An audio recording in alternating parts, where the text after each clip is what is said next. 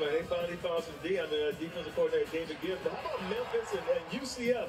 I tell you what, this game was like they're coming out prior. When they played UCLA, they got in a shootout and they came out on top. They have a quarterback, Riley Ferguson's playing at a high level right now.